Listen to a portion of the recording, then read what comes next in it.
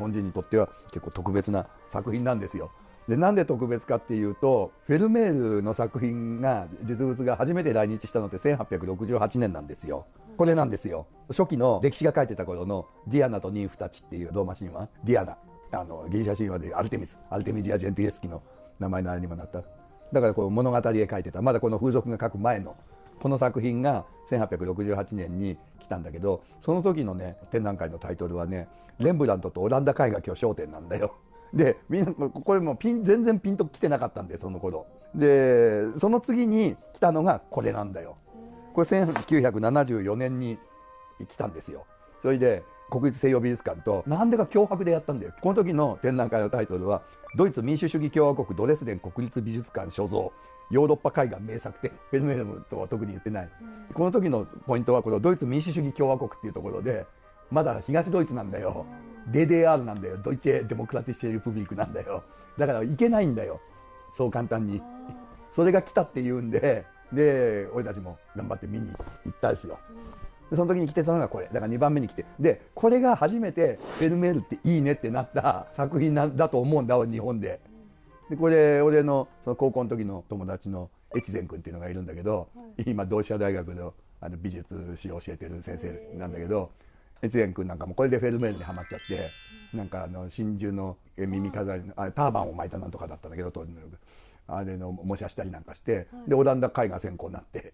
今なんか現代美術を教えてるみたいなんだけどもともとレンブラントが専門だからね彼。そのぐらいフェルメールっていいねってなった最初の作品なんだよ。俺もだからエーチェンとか同じ美術部だったからさフェルメールはいいんじゃないかみたいなこと散々言ってたよ。そういう作品なんですよだから俺も個人的にはこれ非常に思い入れがあるんですよ。でその後、まあ、フェルメールの作品ってその後3回ぐらい来日してるんですけど全部の展覧会でフェルメールって歌ってないんだよ。みんななんとか美術館展とかさ17世紀オランダ絵画とかさそんな展覧会名なんだよ。で日本でフェルメールの名前が冠された展覧会が開かれたのって2000年に大阪市美術館で開かれたフェルメールとその時代展が最初なんだよ実は。その時5点も来たんだけどだけど大阪市美術館でしかやってないんだよ。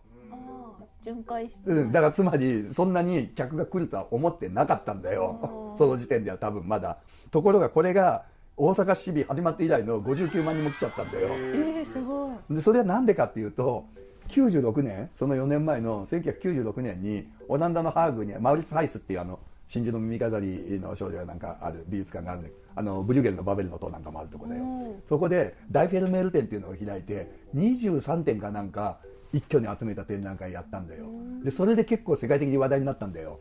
そのぐらいなんだよ。その頃なんだよ。で日本だとその同じ年に「ブルータス」っていう雑誌が「君はフェルメールを見たか?」とかって特集やったりしてなんか俺もなんかちょっと書いた記憶あるんだけど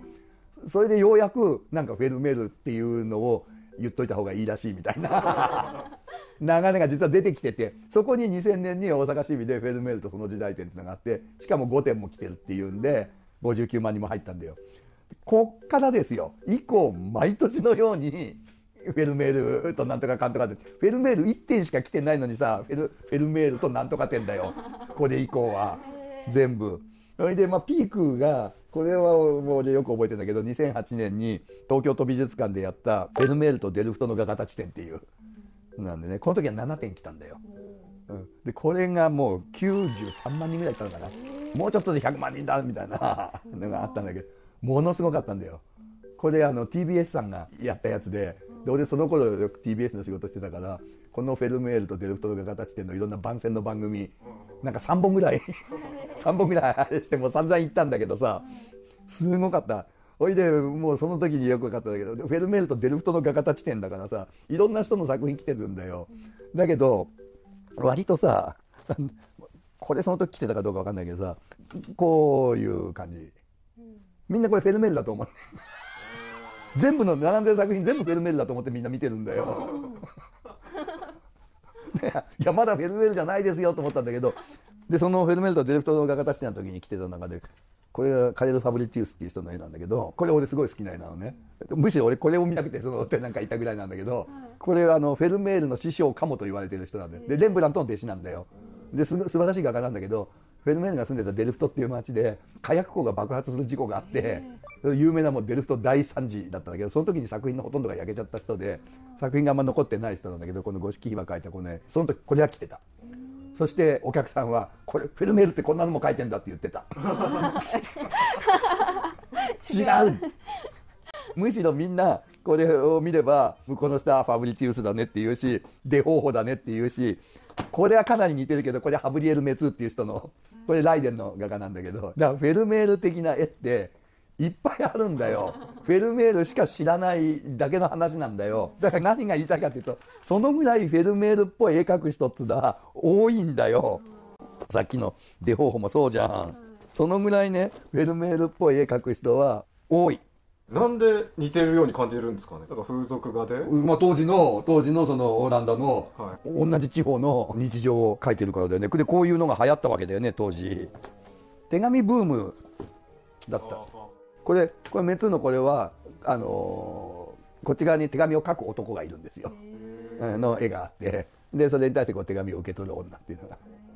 あるんですけども。こう郵便制度みたいなのが整い始めた頃でなんかちょっと前で、LINE でなんかするみたいなのが流行った頃みたいにこう手紙でこうやり取りするっていうのが流行ったわけですよ。でそれは男女だけじゃなくてさ遠くにいる人とかさそういう人とのこう文通なんかも流行ったわけですよ。だからこういうところになんかその相手の人が行ってる場所を思わせる景色の絵がかかってたりとか